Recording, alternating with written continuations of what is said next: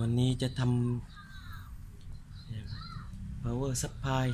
นะครับ ปรับแรงดันได้ ไว้สำหรับทดลองวงจรต่างๆนะครับ นี้ก็ใช้ switching 12 โวลต์ 20 แอมป์นะครับ แล้วก็ปรับแรงดันได้ แต่ 1 โวลต์ถึงแม็กของไอตัวนี้ก็ 12 โวลต์นะครับ แล้วก็มีใช้ มิเตอร์ดิจิตอลวัดแรงดันวัดกระแสนะครับ เมื่อเราปรับแล้วได้รู้ว่าแรงดันออกเท่าไหร่นะครับ กินกระแสเท่าไหร่ แล้วก็ใช้ banana plug นี้สำหรับต่อสายต่ออะไรง่าย ๆนะครับ ผมซื้อกล่องมันมาใหญ่เกิน ที่แรกกะว่าจะเอา switching ไว้ข้างในแล้วก็ติดพวกหน้าจอพวกบานาน่าแจ็คต่างๆ แต่นี้ก็มีปัญหาเรื่องว่าเดี๋ยวมันจะร้อนนั่นเองเรื่องระบายความร้อนก็เลยเปลี่ยนใหม่ เปลี่ยนแผนใหม่ว่าเอามันยึดไว้บนเสีย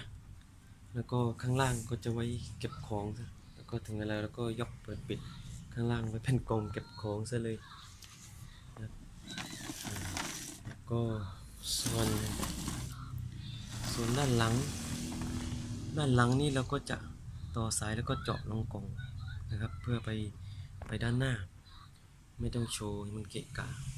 ส่วนปลั๊ก AC ก็กะว่าจะใช้ตัวนี้แทนการขันต่อสายตรงๆ เพราะว่าถ้าผมใช้กล่องต่างๆ ด้วยตัวนี้หมด คือเวลาเราจะใช้งานสายไฟเรา เราใช้เส้นเดียววนไปได้เพราะเราคงถ้าเราไม่ใช้พร้อมกันนะครับ วนไว้ได้อย่างนี้แต่ถ้าเราขันเนี่ย มันเสียเวลาถ้าเราจะไปใช้อื่นเราต้องขัน ถ้าไปกองอื่นก็ต้องทำเป็นตัวขันเอาไว้ทุกกอง อย่างนี้เราก็ไม่ต้องขันอยู่ ถอดเข้าถอดออก เพื่อเอาสาย AC ประหยัดนะครับไปใช้วนกันได้เนี่ยมันไม่เกะกะไม่ต้องไปต่อสายลอยเอาไว้แล้วก็มันจะเจอปัญหาประมาณเนี้ยเนี่ยถ้าเราทำสายต่อไว้มันก็จะสายปักมันก็จะนี่เลยมาดูเครื่องมือเพื่อ ที่ผมใช้บ่อยๆ ผมจะตั้งกองกองเกะกะสักนิดนึงก็เลยกะว่าพอทำในตัวนี้แล้วก็ เอาเครื่องมือที่ใช้บ่อยๆเอะไว้ในนี้เลย เวลาจะใช้งานเครื่องมือก็ก็เปิดฝาตรงนี้ เวลาจะจ่ายไฟทดทดสอบบอร์ด develop ต่างๆ ก็ปรับไฟจ่ายได้ง่ายนะครับเอากี่โวลต์หนึ่งโวลต์สามโวลต์สามจุดสามห้าโวลต์ได้หมดมีมิเตอร์วัด แล้วก็บิดปรับจัดเอา โอเคนะครับ เดี๋ยวดูว่าเสร็จแล้วเป็นยังไง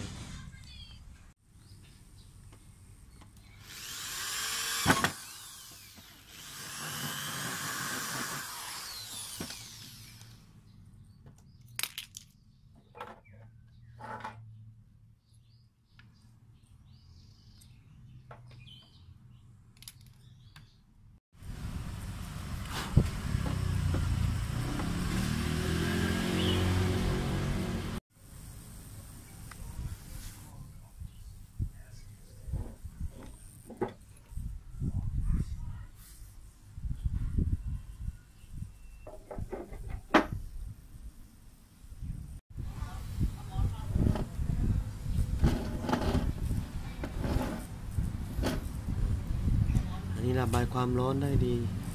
ก็ล่างไว้ใส่ของใส่เครื่องมือเครื่องมือที่ใช้ประจำใช้บ่อยๆ หรือว่าเอาไว้เก็บพวกมิเตอร์ก็ได้นะครับก็ยังไงผมก็ซื้อกล้องมาใหญ่ไปแล้ว ก็เลยว่าเออให้มันดีมีประโยชน์ดีกว่าเอาสวิตชิ่งไว้ในก็ร้อนอีกต้องไปติดพัดลมอีกวุ่นวายเอาเนี้ยซื้อมาแล้วก็เอามาประยุกต์ใช้ให้มันได้ นี่ ก็ติดตั้งอุปกรณ์ครบหมดแล้วนะครับ LCD ปรับโวลูมปรับโวลูมเปิดปิดแล้วก็ปรับโวลต์เอาพุทอันนี้สวิตช์ AC in input ตรงนี้ก็จะจำสายไฟยังไม่จำทีอยู่ด้านล่าง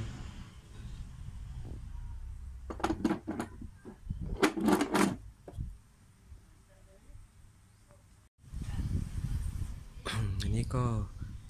จ่าย input นะครับ เข้าผ่านสวิตช์เข้าสวิตชิ่งก็เรียบร้อยแล้วนะครับ AC in แล้วก็ผ่านสวิตช์แล้วก็เข้าสวิตชิ่งเดี๋ยวก็รอจำไฟตรงไปไปด้านหน้านะครับมาผ่านตัวบอร์ดเลกูเลตนะครับอ่าครับ งานสายไฟด้านล่าง เราก็เรียบร้อยแล้วนะครับ นี่คือไฟ AC in นะครับ ผ่านสวิตช์แล้วก็เข้า switching นี่ output เป็น DC นะครับ มาเข้าตัว input ตัวนี้ก่อนนะครับ ก็ output ออกมาผ่านตัวมิเตอร์วัดแรงดัน แล้วก็ออกมาที่ connector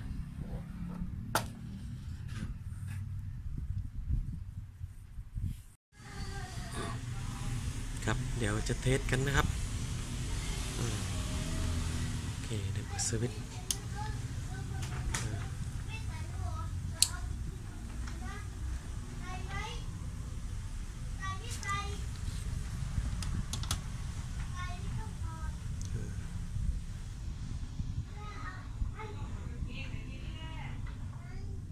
นี่แม็ก 12 โวลต์ เพราะว่าสวิตชิ่งตัวนี้มัน 12 โวลต์นะครับผมอืมห้าโวลต์ สี่โวลต์สามโวลต์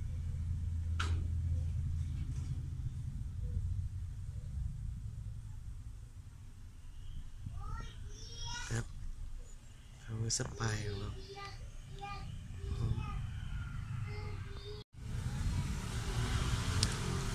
อันนี้ก็ด้านล่างก็เอาไว้เก็บเครื่องมือที่ใช้บ่อยๆได้นะครับ แล้วก็อันมันก็เป็นสวิตชิ่ง Pakinggan